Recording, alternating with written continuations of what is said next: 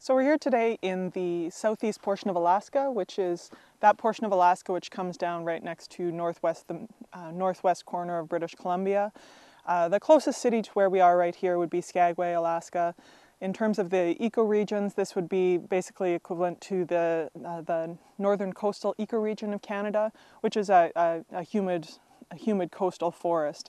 Um, in terms of the the overall climate here, we're looking at a much more humid climate than pretty much anywhere else that we've uh, looked at so far in this course. The precipitation here in the driest areas would still receive probably at, at least 500 millimeters of precipitation a year, but for, throughout much of this region, that would be more on the order of 1,500 to say 3,000 millimeters of precipitation per year. So much more humid, uh, humid climate overall.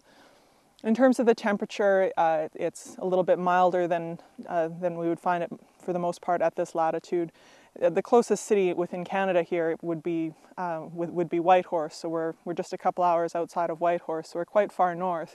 But the climate here, because we are closer to the coast, would be more on the order of uh, uh, summer summer average temperatures around plus 10, and winter averages te- average temperatures around minus 10.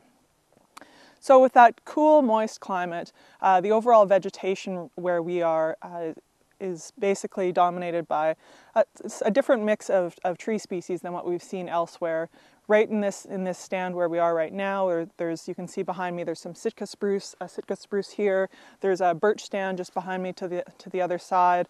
Uh, there's a number of ferns right around, uh, some high bush cranberry, and a bit of uh, equisetum over here.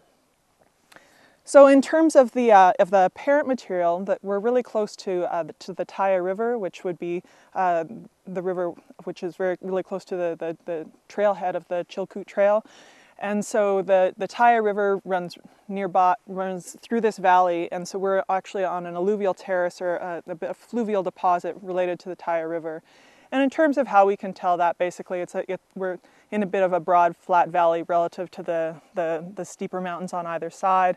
And when we start looking at the soil pitch, you'll see that in terms of the characteristics of the, of the, the parent material here, it's quite sandy overall, fairly well sorted, and um, quite characteristic in terms of, uh, in terms of uh, a fluvial deposit.